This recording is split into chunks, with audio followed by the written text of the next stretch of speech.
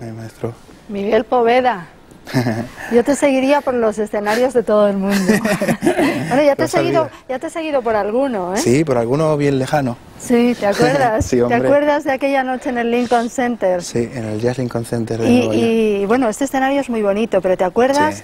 que había un cristal enorme y se veía todo en Nueva York por detrás? Bueno, era ¿no? impresionante, unos ventanales pues casi más grandes que esto. Y, y la verdad es que cuando estabas en el escenario y, y me echabas la vista atrás era un cañonazo de energía increíble, de verdad. ¿Y tú por qué eres flamenco? Yo no soy flamenco. No, hombre, sí, sí. sí. Si Bueno. digo esto me matan los flamencos. Bueno, ¿tú por qué has cantado flamenco?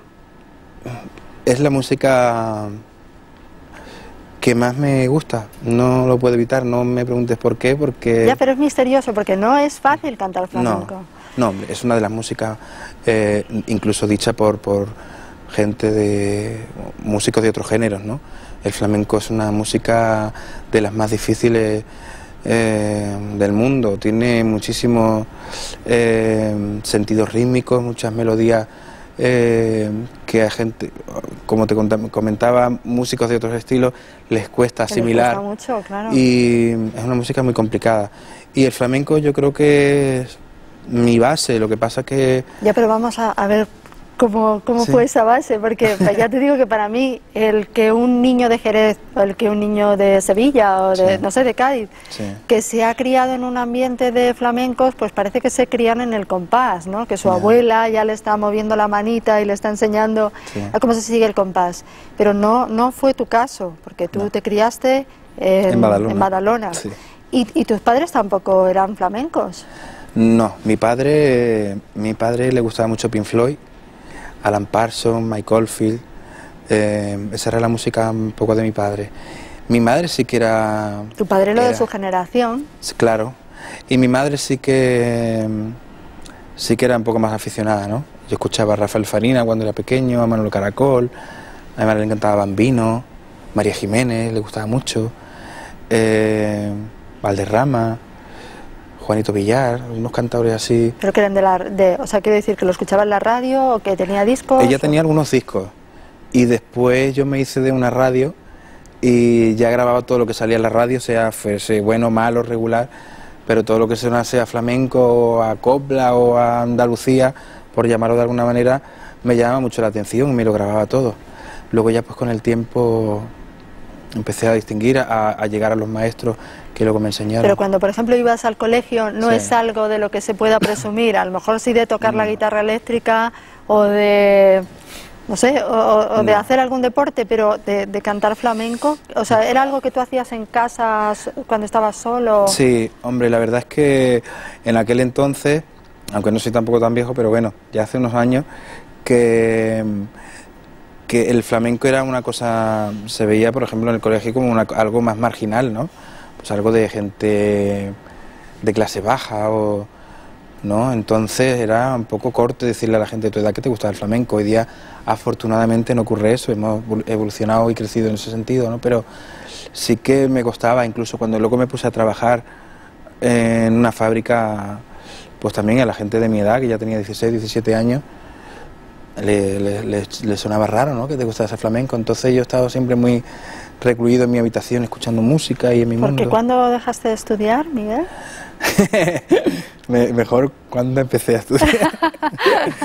no, dejé de estudiar eh, en, teo- en la práctica o en la teoría cuando tenía 15, 16 años, ¿no? Que ya me puse a trabajar porque hacía falta dinero en casa. Pero porque hacía falta dinero, pero porque no te gustaba a ti demasiado estudiar. A mí me gustaba, lo que pasa que mm, yo era muy vago.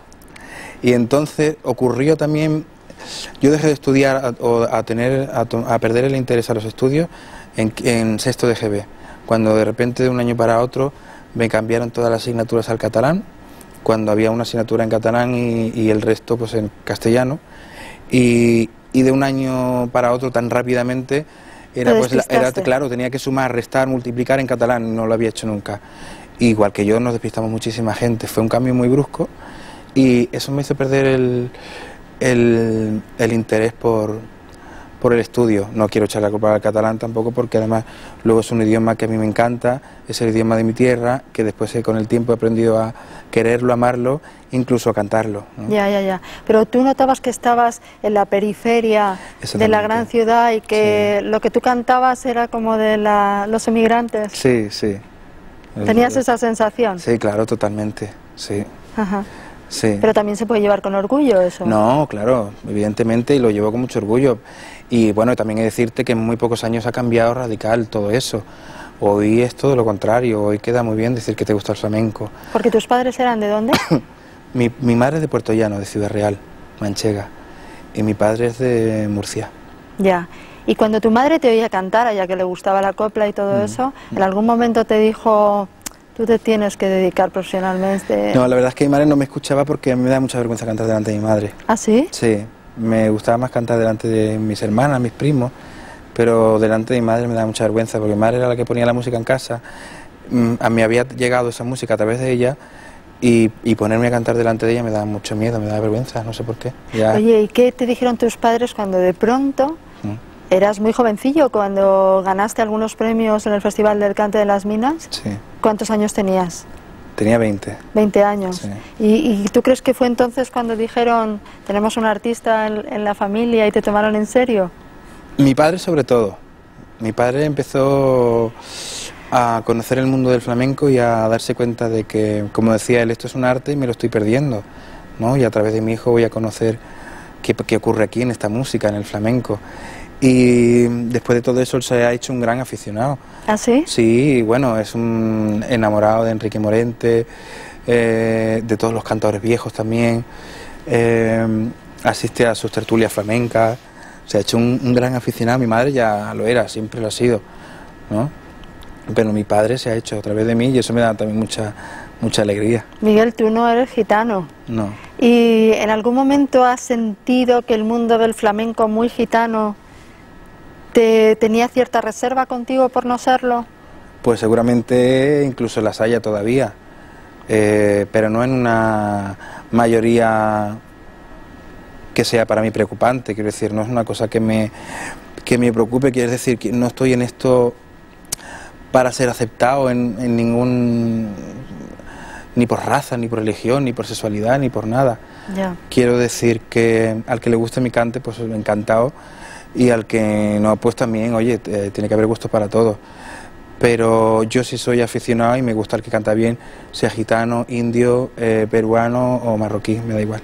¿Y, ¿Y, ahora cuál es la canción que has elegido para cantarnos? Porque... Pues mira, también como me gusta mucho la poesía, he escogido un poema de Federico García Lorca, eh, que es el romance de la dulce queja, que junto con el Te lo juro yo ha hecho los arreglos John Albert Amargós que me acompaña bueno, a mí me encanta además el, flamenco y la copla me encanta con piano. Sí, a mí también. Miguel, no adelgaces. ¿Cómo que no? Tengo que adelgazar, por favor. no adelgaces, que así estás más flamenco y más, y más, guapo. Está un poco, hay que estar un poco apretado. Yo me he puesto estos zapatos. No, me encantan. Por ti esta noche. No, me encantan. Porque Tengo otros invitados, pero los zapatos son por ti. pero además que tú, ¿cómo es lo que me has dicho antes? Que son medio flamencos, medio Flamencos y medio de comedia musical. Comedia musical, me encanta. Para que se sepa que no tenemos prejuicios musicales. no, no, ninguno. y, y podemos hacer copla, tango, musical americano. Lo que nos eche. Bueno, cariño. bueno, Elvira, me encanta de hablar contigo, de verdad. Lo mismo digo. Voy a cantarte un poquito, ¿vale? Muy bien.